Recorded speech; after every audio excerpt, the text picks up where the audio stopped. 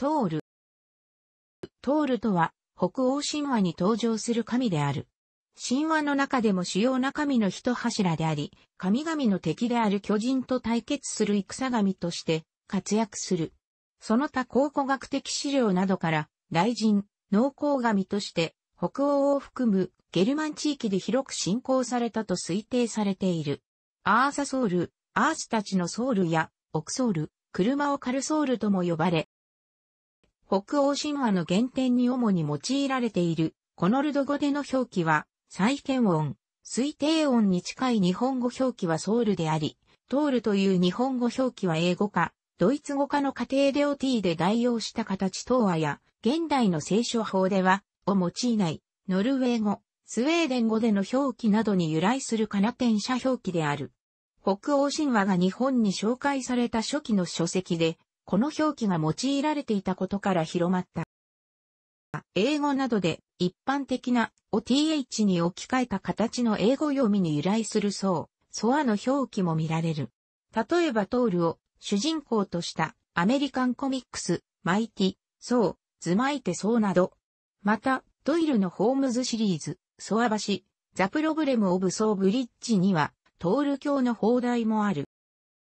トールは北欧神話のみならず、ゲルマン人の信仰に広く見られる神であり、古英語の文献に見られるや、ここドイツ語でのもトールを指すとみなされている。時代を下ったドイツの民話では、ドンナーの名で現れ、19世紀の作曲家、ワーグナーの歌劇でもこの名称が使用されている。これらの語はいずれもゲルマン祖語のまで遡ることができると考えられおり、その意味は雷と推定されている。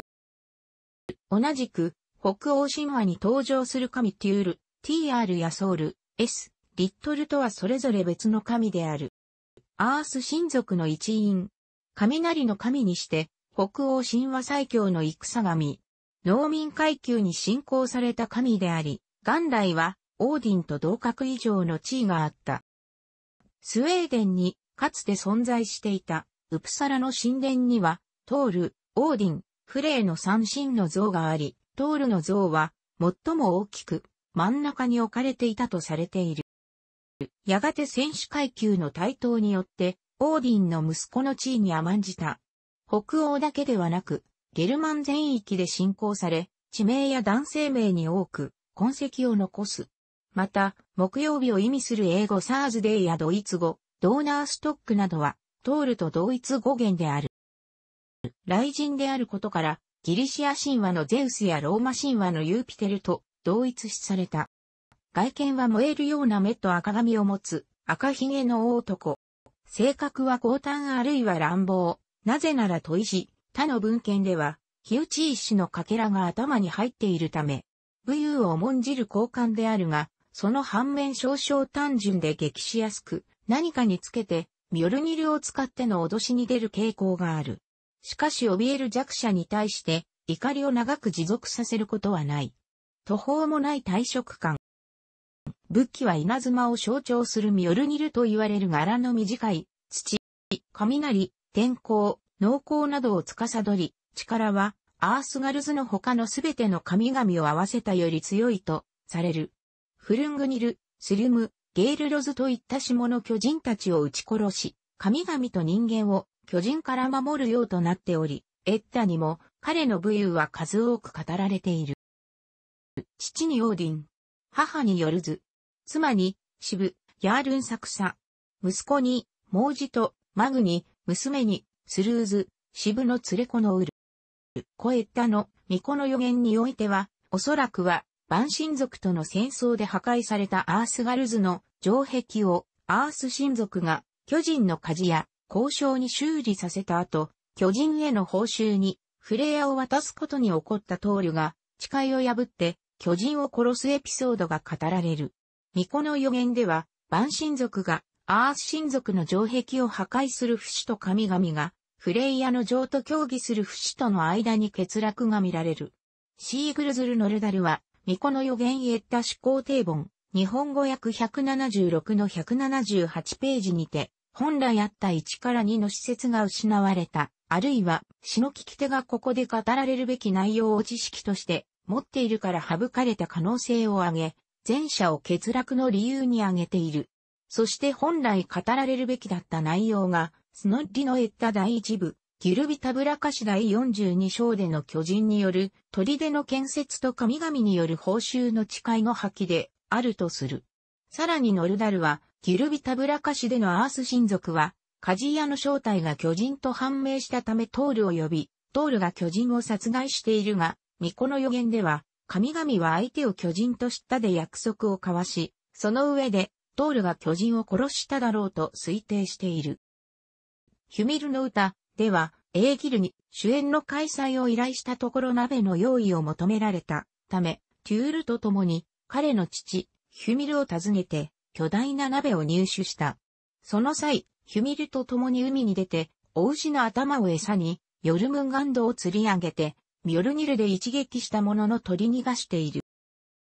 スリムの歌では、ミョルニルが巨人、スリムに盗まれ、スリムがその返還の条件にフレイヤとの結婚を要求したことから、フレイヤに変装して、ヨトゥンヘームに行き、スリムが、花嫁の祝福のためにと持ち出したミョルニルを奪い取って、彼と一族を全滅させている。ハールバルズルの歌では、ハールバルズル、ハールバルズという偽名を名乗って、川の渡し森をしていたオーディンとの口論が語られている。アース親族がことごとくロキにこき下ろされる。ロキの口論では、トールは最初はその場にいなかったが、やがて会場に行き、ロキを激しく咎めて退散させた。アルビースの言葉においては、娘のスルーズがドワーフのアルビースに結婚させられそうになると、トールはアルビースに朝まで次々に質問を出して答えさせ、朝の光を浴びせて石にした。ラグナロクにおいては、大蛇、ヨルムンガンドに致命傷を与えるが、その勝利の後、旧歩退く。これは一般に大蛇の毒を受けていたために旧歩下がった後に死んだと解釈される。スノーリの言った第一部、ギルビタブラカシ第42章では、神々に作られて間もない水ガルズを巨人から守るための砦を作った鍛冶屋の正体が山の巨人と知り、鍛冶屋をミオルニルで倒すエピソードが語られる。神々と鍛冶屋はフレイヤと太陽と月を砦の報酬にと約束していたが、破られることとなった。同第44から47章によると、巨人ウートガルザロキの宮廷に招かれた時は魔術にはまってしまった。まず宮廷に着く前に、巨人スクリューミル、実は、ウートガルザロキの変身した姿と出会い、食料の入った袋を開けられなくされ、スクリューミルの手袋を小やいと思わされて、そこで休息した。さらに宮廷で行われた飲み比べで、杯、実は大会とつながっているを飲み干せず馬鹿にされる、エリ、という老婆、実は、老いの化身。神といえどよる年並みには勝てないとの相撲に敗れるなど、散々な目にあっている。なお、この時の出来事は、ロキの口論でロキに蒸し返されている。同第48章では、ヒュミルの歌でも語られているヨルムンガンドとの対決が、再び語られる。若者の姿となって一人でヒュミルを訪ねたトールは、ヒュミルが船で海に出るのに同行した。ヒュミルの飼う、牛のうち最も大きいヒミン不良との首を餌にし、ヨルムンガンドをうまく釣り上げたものの、ヨルムンガンドが抵抗し、トールは船板を破って海底に足がつくほど強く踏ん張り、ヨルムンガンドを引き上げた。トールがミョルニルで蛇を粉砕しようとした瞬間、この光景に恐れをなしたヒュミルが、餌切りナイフで釣り糸を切った。ヨルムンガンドは、海中に逃れ、怒ったトールは、ヒュミルを殴りつけ船の外に飛ばしたという。トールの短気ぶりを語るエピソードが、同第49章で紹介されている。バルドルと妻、ナンナの葬儀の際、遺体を乗せた船が大きすぎて動かせず、女巨人ヒロッキンが来て勢いよく、海に進めたとき、トールは怒ってヒロッキンを殺そうとしたため、神々が取りなした。また、ミオルニルで仮装用の焚き木を清めていたところに小人、リトが飛び出してくると、トールは彼を火の中に蹴って入れてしまった。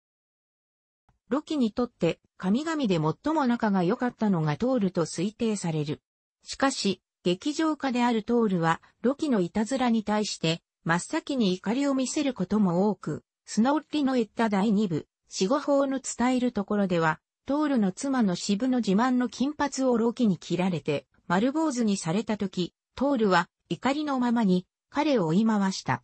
渋のものと全く同じ金髪を小人に作らせることをロキに約束させてトールは怒りを収めたが、これが小人の単野勝負に発展し、神々は大切な宝具を手に入れることとなった。それがすなわちミョルニル、ドラウプニル、金の縦紙のイノシシであり、グングニル、スキーズブラズニルである。また、ウートガルズへの通る遠征時に、ロキが同行を申し出た際、その理由を聞かれ、トールは頭が鈍いから頭の切れる自分がいた方が安全という旨を言っているがトールは怒りを見せず、寝床に使える場所が見つからず、野宿になるのかと不安があるロキ対してトールは、フェンリルの親なのに、狼が怖いのかと笑うと、堂々と皮肉を言い合えるほどの仲だったという描写も確かに存在している。死後法では、巨人の中で最強なフルングニルを倒すエピソードも語られている。フルングニルは、トールと共に決闘場所に来たシャールビの嘘を真に受けて、無防備な状態となった。トールは、ミョルニルを、フルングニルは、武器の砥石を投げつけたが、ミョルニルは砥石を二つに割り、さらに飛んでフルングニルの頭蓋骨を粉砕した。破壊された砥石の一方が、トールの頭に刺さり彼は転倒した。そこへ死亡したフルングニルの巨体が倒れて、下敷きとなった。動けなくなったトールを助けたのが生後3日目の息子マグニで、トールはフルングニルの春馬をマグニに与えたという、詳細はフルングニルの記事を参照。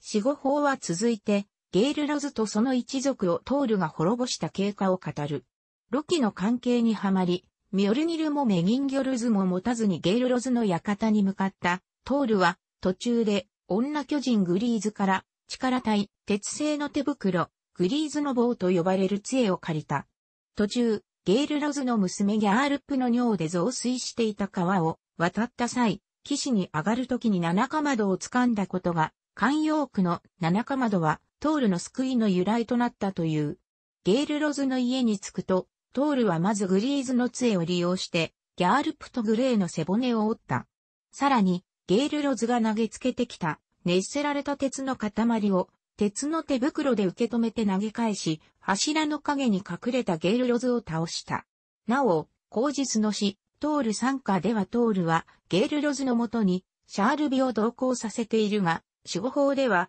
連れの存在に研究されるもののそれがシャールビかは、はっきりしていない。つまびらかは、ゲールロズの記事を参照。なお、前述のフルングニルとの戦いの際に頭に食い込んだ、砥石のかけらが、トールに、むずがゆさ、痛みを与え、苦痛により彼が叫ぶのが来航となる。トールは嫌で、たまらなくなり、ミコグローワを呼び出した。彼女が魔法の歌を歌うと、砥石が抜け落ち始めた。痛みは完全になくなり、もうすぐ石がなくなるだろうと思っていたトールは、お礼に彼女を喜ばしてやりたくなった。お前の夫は生きているんだ。お前は死んでいると思い込んでいるけどね。俺が夫を助け出したのだ。しかも夫はヨトゥンヘームにいたよ。あそこは危険極まりないからな。まあそれはいいとして、もうすぐ夫が帰ってくるよこれを聞いた。グローワは、喜びのあまり狂気乱舞し、魔法の歌を忘れてしまった。したがって、トールの頭の中には、砥石が入ったままになっている。ユングリング家の佐賀にもトールの名が見られる。第5章においてトールは、ログコ、現在のスウェーデンメーラレンコのほとりのにある、スルーズバンダをオーディンから与えられた。また第7章においては、人々が、オーディンやトールをはじめとする主張らを神として崇め、トール、ソウルにあやかった、ソーリル、ソーラリン、ステインソール、ハブソールという名ができたと語られている。詩人によるスカルド氏、トール参加、ソウル昇華においては、トールはシャールビと共にゲールロズの館に行き、一族を倒している。サクソグラマティクスが記した歴史書、デンマーク人の事績では、邪神として登場する。ホテルス、ヘズと対決したトールは、ミョルニルで応戦するが、彼の持つ魔剣の前に、ミョルニルを柄から真二つにされる。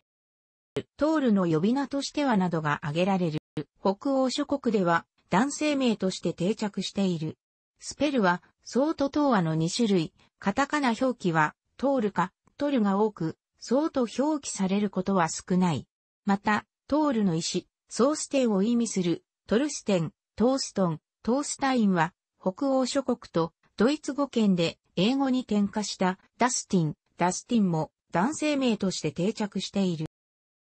楽しくご覧になりましたら、購読と良いです。クリックしてください。